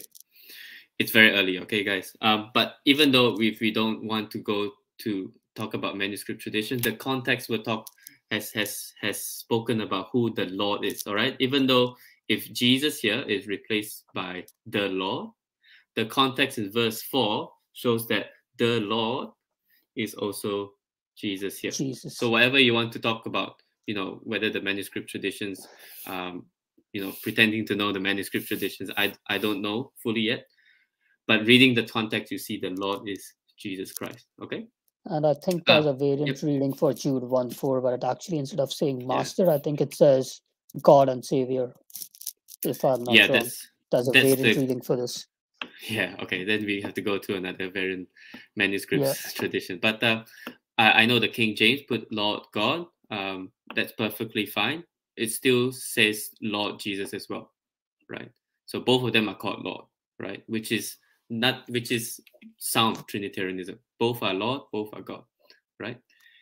Um, Tyler, do you have anything more to add? Oh, I think you already spoke. Uh, Mike, do you have any more to add from this? If No, you guys, you guys touched it really well.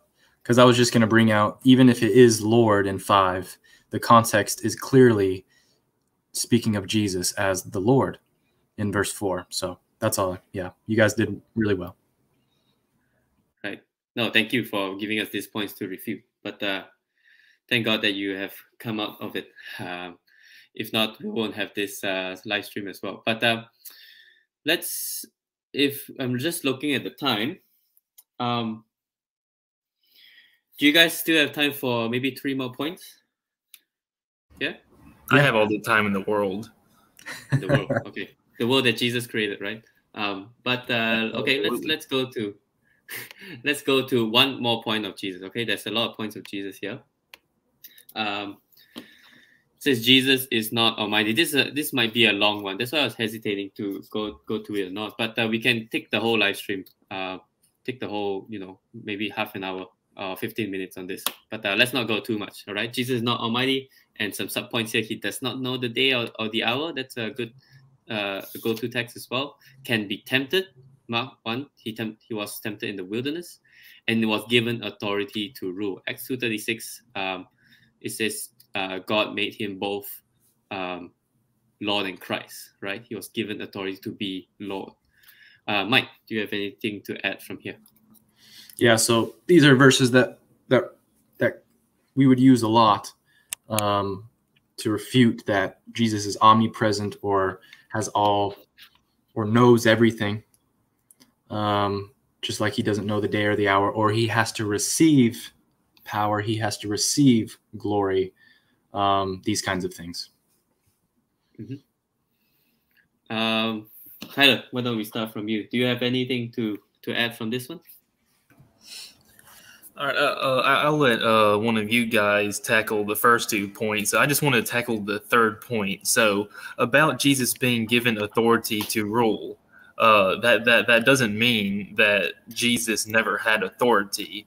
Uh, first of all, uh, the fact is Jesus limited himself when he became a human being. He emptied himself when he became a human being, and he did not use his equal his equality with God to his advantage. And so th- then he became gl- glorified. The father glorified him and uh, so yeah he was given authority uh, back to him after he had limited himself as a human being. You could say that. But uh, a point i want to bring up is that in First corinthians chapter 15 it says that jesus will give the kingdom to god the father.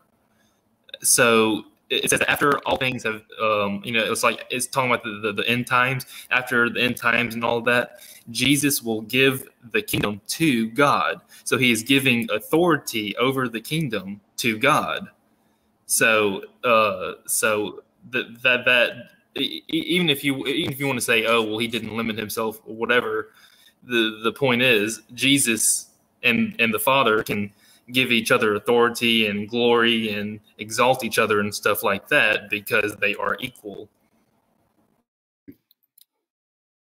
Uh, thanks for that, um, kind of. Biblicist. I'll set this one out at the moment. That's but okay. given authority to rule and but I can tackle that second objections that Jesus can be tempted. Yep. Okay. So to make a case for this, we got to understand that Jesus can be tempted in his human nature as man. Why do I say that? If you're going to Jeremiah 32, 37, Let's go. Jeremiah 32. 37.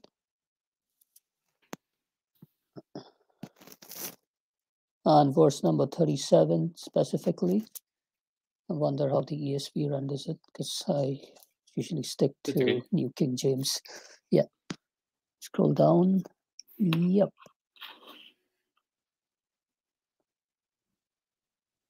Just a second. Did I get the right verse? Just a minute. I think I might be a bit off here. 32, right? Yeah, just a sec. I might be a bit off over here. Sorry, it's Jeremiah 32 27. My bad. Yeah, no worries. Okay. 27.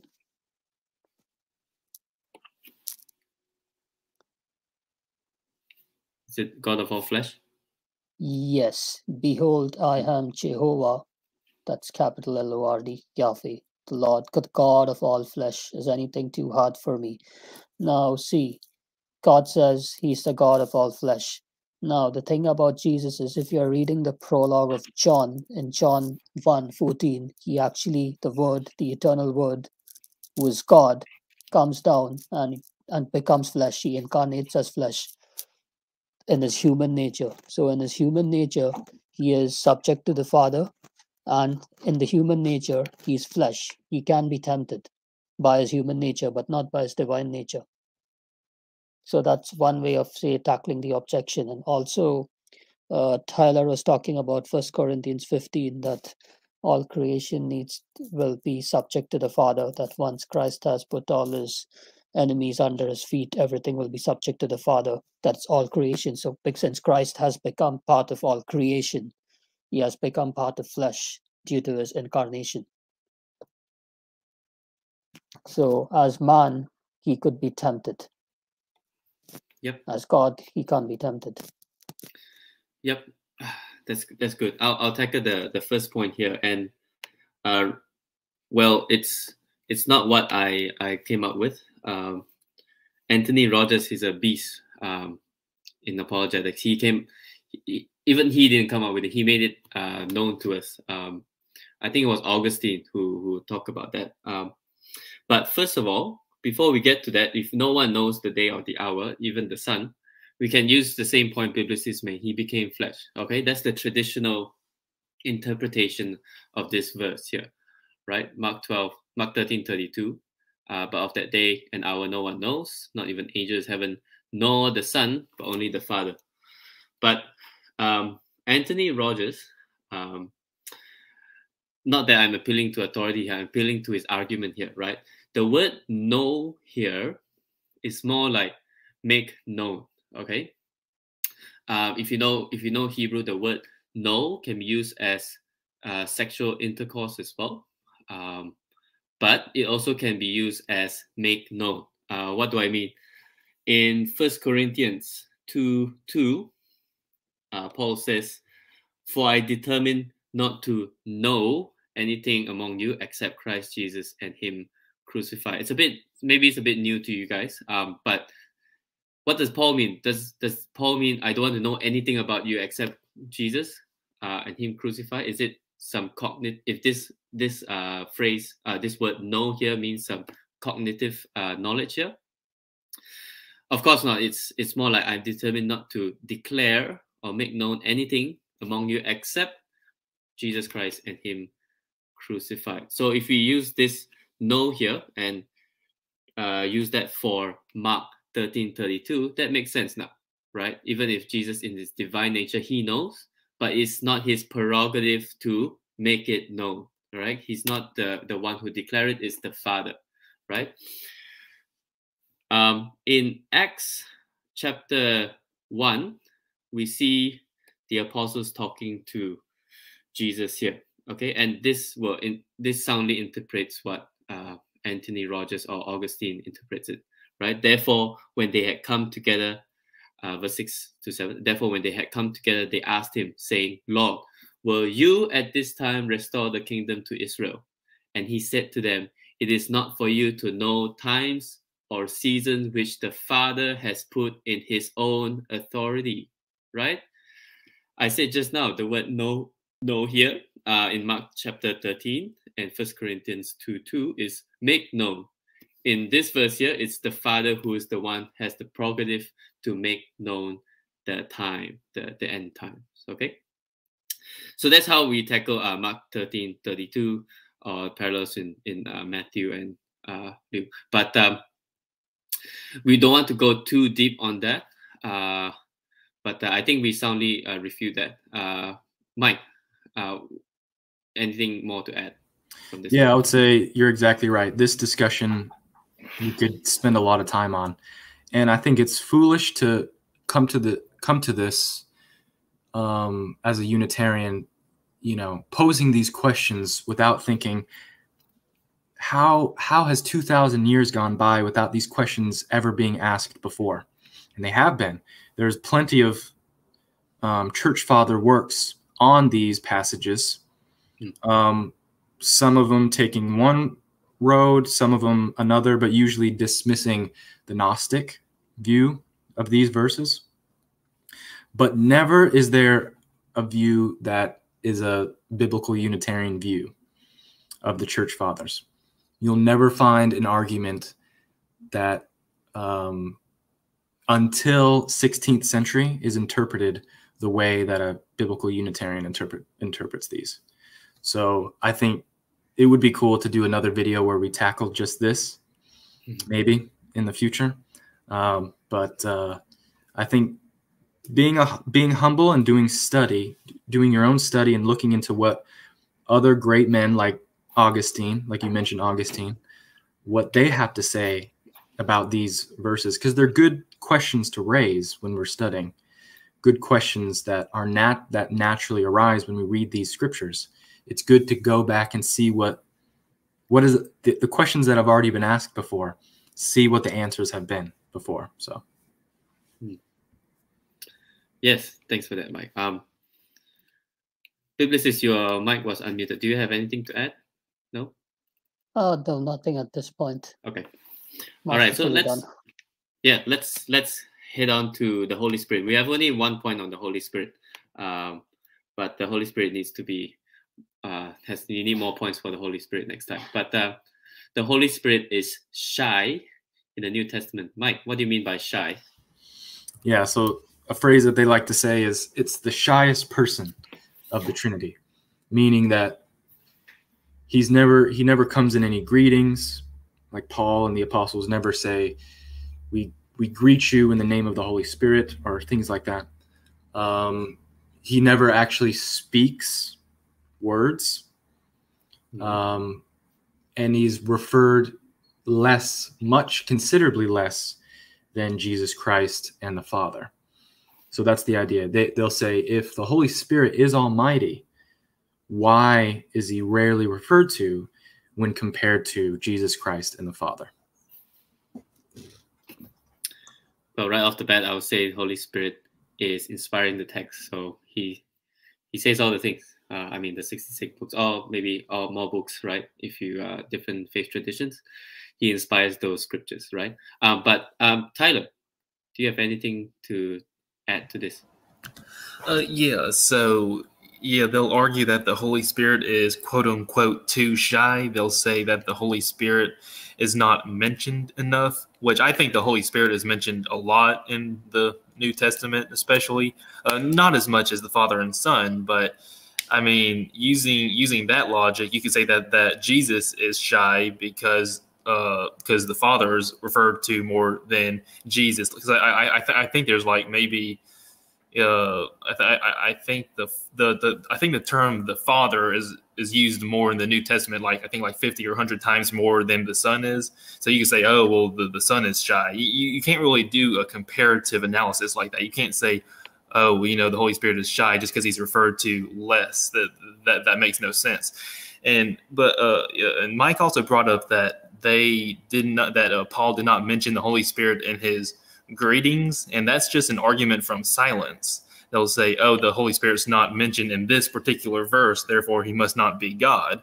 But there's verses like, for example, if you go to Colossians, there's a passage where it says, "Do not serve men." Serve only the Lord, and the Lord that you are serving is Jesus Christ it does not mention the Father or the Holy Spirit. So, according to that logic, the Father must be shy, and the Father must not be as important as Jesus because it says serve the Lord Jesus and doesn't specifically mention the Father.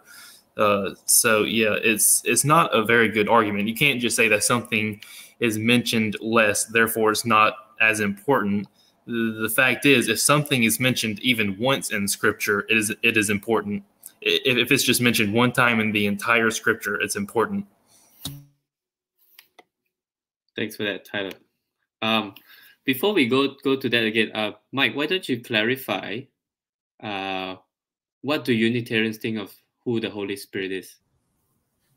All right. Again, there's multiple there's multiple views. Um, some of them say that it's just the power of God, so it's a force it's an it. It's not a he. Um, they'll try to say, well, it's not impersonal. It's a personal force or power. I'm not sure how that. I, I honestly don't know how how they work that out. But um, another view is it is God. It's speaking that the Holy Spirit is God. It's the whole. It's the Spirit that is holy. So it's the Father. It's another. It's it's interchangeable with the Father. Um, so there's multiple views. Sometimes, like uh, like I'll be honest, I personally went back and forth. I wasn't quite sure what I believed on it with the Holy Spirit. It's something that is very uh, ambiguous. Um, some passages are clear that it's speaking of a person. Other passages not so much. Other passages are interpreted as as a Unitarian as this is just the force. It's the the power of God. Um, so that's that's kind of the viewpoint. There's multiple views again on what the Holy Spirit is, and you'll see them argue sometimes back and forth on what on what it means. You mean they argue among themselves? Yeah, just like they'll argue with John one one. They'll argue, they'll argue about uh, the Holy Spirit. Yeah. Yeah. Okay. So they don't even have a sound. I mean, a firm doctrine of who the Holy Spirit is, which tells you something about them, right? Um, again, this is not I, I didn't mention it, but it's not to belittle them. We want them to know the truth, right? But I mean, if you if you want to if he, they want to say all these things, I mean, their their foundation is not firm enough, right?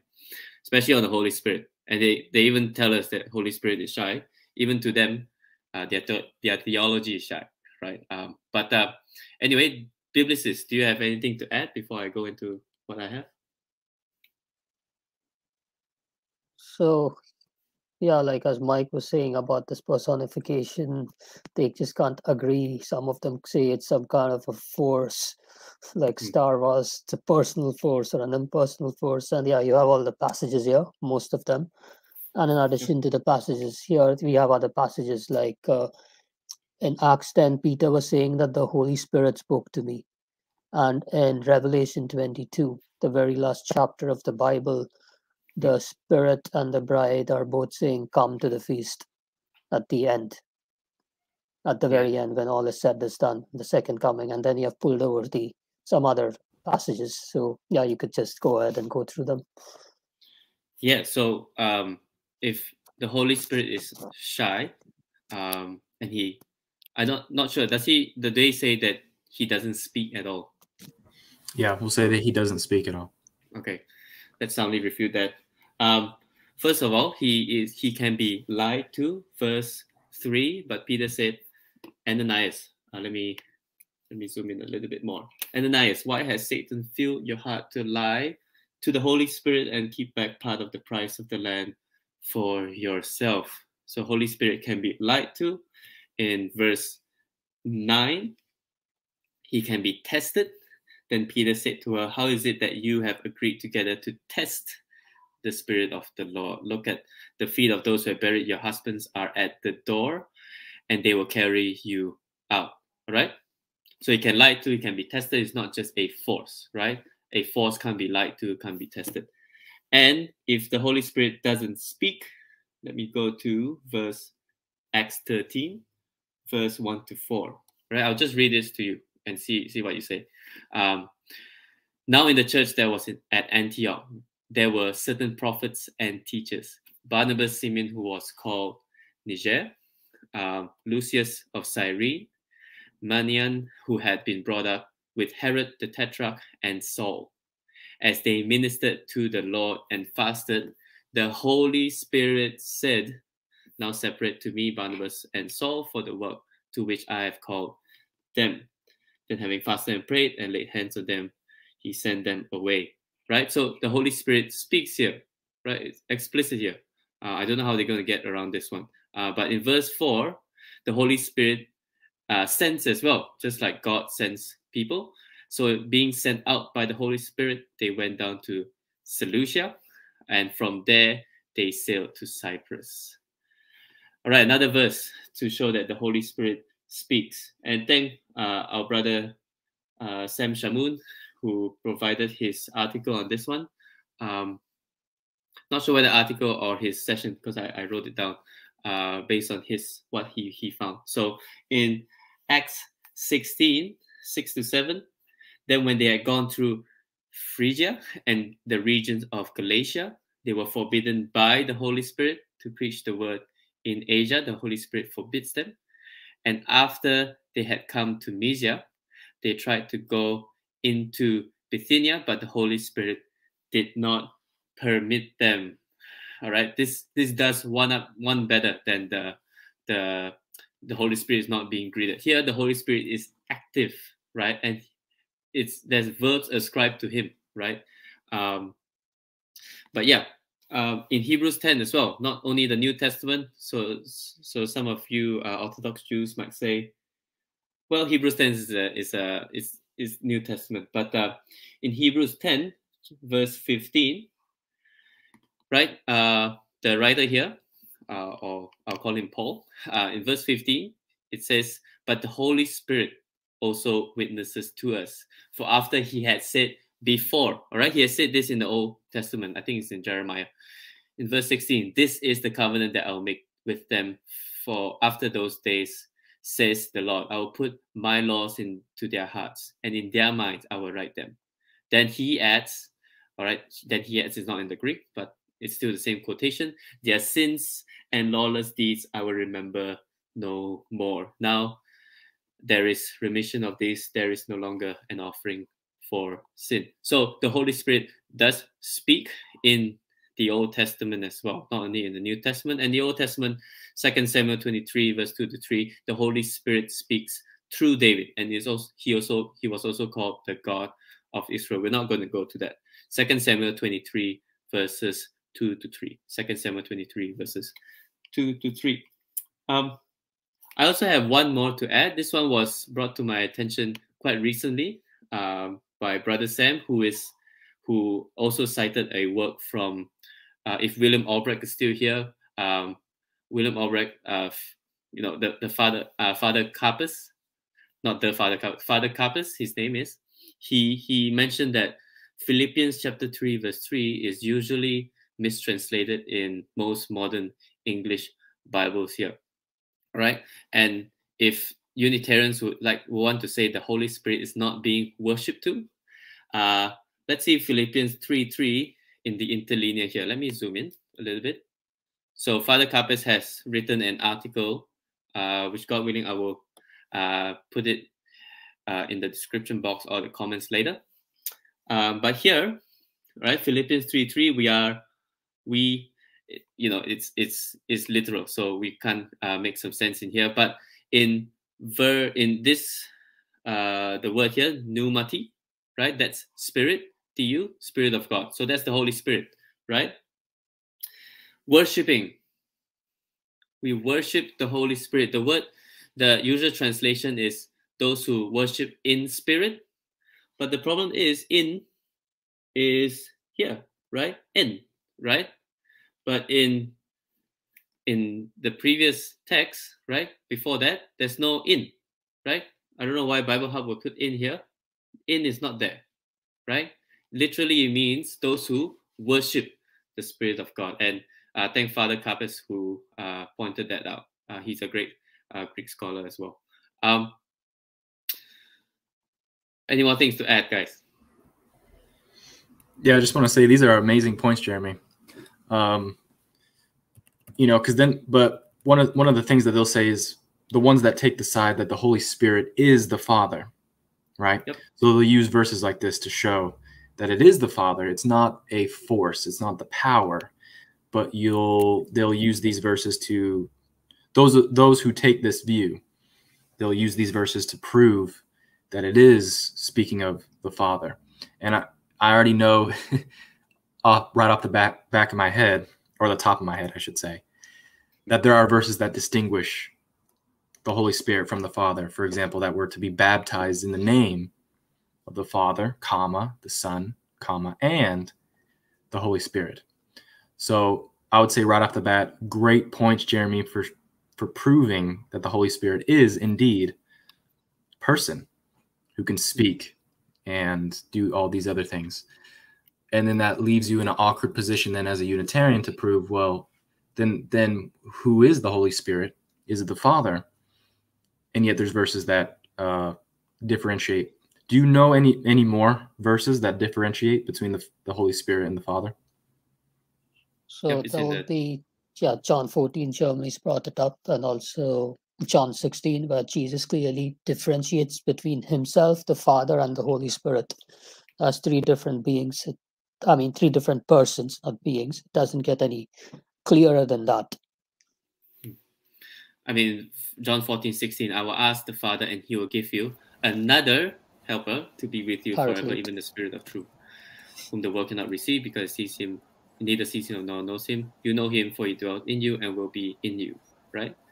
Um, Tyler, I think you have more points, right? I've seen you Uh, comment ye- before. Uh, yeah, yeah. I just wanted to say, uh, John sixteen thirteen says that the Holy Spirit does not speak of himself, but only speaks what the Father tells him to. This makes no sense if the Holy Spirit is the Father. 16, 13. Let's get it up so that they, they don't think we are misquoting it. 16, 13. Uh, sixteen thirteen, chapter sixteen, verse thirteen. Yeah. Yeah, when the Spirit of truth comes, he will guide you into all truth, for he will not speak on his own authority, but whatever he hears, he will speak, and he will declare to you the things that are to come. Yep. Uh, any more to add? Otherwise, we'll close with one more point, and then that's that's two hours. All right, so we soundly showed that the Bible does teach the doctrine of the Trinity, and um, maybe we'll we'll put this in another point. Uh, we'll have another brother who's gonna come to us, uh, who's gonna talk about the church fathers. But another thing for you guys in the in the chat to think about. Uh, this is a common objection. The Council of Nicaea, right? The famous famous Council of Nicaea that Unitarians, even Muslims, will use. That the Trinity is not even formulated by then. Uh, Mike, why don't you clarify a bit to the audience, and then we'll probably close from here. We don't going to answer Right. this. Yeah, so just kind of like an introduction to the mindset. Um, and there's multiple views to this, but a common uneducated view is that the Trinity didn't exist before the Council of Nicaea in 325. And then a bunch of men got together and they came up they came up with this doctrine in 325. And it only started then. And then because these these men came to that decision, the rest of history um, was in the books. And if you went against it, you were persecuted, these kinds of things. Um, but the common misconception is that the Trinity started at the Council of Nicaea, or the idea of it. uh, we know that that idea is is easily refuted with a little study of history. Um, but I'll let you guys speak on that too. Yeah. Yeah. Um, maybe we don't talk too much about it. Uh, just say one sentence or two about it, and then we'll we'll um, tease the audience for second part. Yeah, just one more thing. They say that Christianity was legalized by Constantine, and that's why the Christianity we know today was made up. Just to tell you the truth, the Arian bishops were in the majority at the Council of Nicaea, and Constantine, FYI, was backing the Arians. Oh, okay. That's all I can say for now. Sure. Thanks. Tyler. Yeah, so I think it is absurd to say that because uh, they are suggesting that Christians had no concept of a Trinity before the Council of Nicaea, and so they're suggesting that the, that all the Christians just rolled over and just accepted this brand new doctrine, but they had uh, persevered in their faith in the face of bloody and relentless persecution for centuries. Earlier in the fourth century, Diocletian was brutally persecuting Christians, so they stood they stood firm in their beliefs. So why would they just roll over and just give up all of a sudden when they had been standing so firm in their beliefs for centuries? Thank you, Tyler. I mean, these guys were had the traditions of the apostles, right? They you can trace back their tradition back to the apostles themselves. But the Unitarians, um, correct me if I'm wrong, their their doctrine, I mean their theology only started in the 1600s. Is that right, Mike? That's correct. Yeah. Yeah, I mean, if you want to count numbers like that, uh, let's say 381, Trinity was established. For them, that's 1600 years later. If you want to count numbers, uh, we are not into counting numbers, but uh, but we already shown from the Bible, uh, the Trinity doctrine is there, as we have shown before. Okay. Um, so I think that's that's all that we have for the materials. Uh, any last words from you guys? Uh, let's start from Tyler. Uh, I just want to say that every single Unitarian argument against the deity of Christ, either all they're doing is they're either A, proving that Jesus is a man, B, proving that Jesus limited himself, or C, proving that Jesus is not the Father.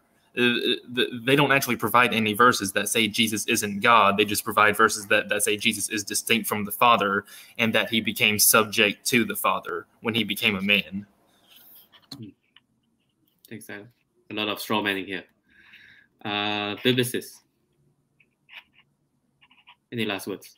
Nothing. I hope this session edified everyone that what we can see is like people just want like to quote mine scripture and predicate their own theology, their own false doctrine. So whenever you take scripture, you need to consider it in totality and take note of teachers who have been studying the traditions passed down right from the apostles if you want to int- interpret scripture in a sound way. Otherwise, as Mike was saying that Unitarians have got different views about the Holy Spirit. I mean, this is what's just going to happen if everybody's just going to just pick courses which they like and then think that they have become theologians or something like that. Quote or Hebrew scholars and Greek scholars. Yep, absolutely. All right, thank you, Biblicist. Mike, any last words? Yeah, yeah. I just want to thank you so much for having us. I, I really enjoyed it. I hope other people enjoyed it as well. Um, and I will see the, the, the big danger in the, the mind that I had before. It was a very arrogant mind. It was basically thinking I can open up the Bible and come to my own interpretation. Um, and that can be very dangerous. Um, I think one of the big problems facing God's church today, or Christianity today. There's many interpretations, and if we if we could just take a step back and say maybe I'm wrong, maybe I maybe I'm not interpreting interpreting this right. How did they interpret it before? How do they? You know, we are constantly told uh, in the scriptures. Jesus said, "I will never forsake you. I will always be with you until the end." Um, as as with the spirit of the truth will never leave us. So if that was true, if the spirit of truth never left, then that that uh, distributes an incredible problem with the biblical Unitarian view, with the Unitarian view that propped up in the 16th century. That means all that time, the spirit of truth was lost, and Jesus wasn't with them all that time. They were in darkness. Um, so if we take a step back and and just and prayerfully meditate on that, know and know that Jesus Christ never left us. Maybe something's wrong with my interpretation. Maybe maybe I'm just not looking at this right. Um, and I pray that we all do that um, in the end. Yeah. All right. Thank you. And we will pray for you as you uh, continue to learn the Trinitarian faith, the true faith, and in the Catholic, Catholic catechism, right? Um, but yeah, so if you guys want to see more, we'll definitely do a part two. There's definitely uh, more people who wants to come on. Uh, I have at least two people who wants to come on, uh, which which we thank uh, God for for having these brothers being here. So thank you, Phillips, Tyler, and especially Mike for being here. Sorry. Thanks, thank you all. Just thank no worries. No worries. Uh, be sure to like, be sure to subscribe, hit the notification bell, uh, hit the reminder bell when you see the live stream coming on, and we'll see you uh, next time. God bless. God bless you all. God bless you. Right. Ciao.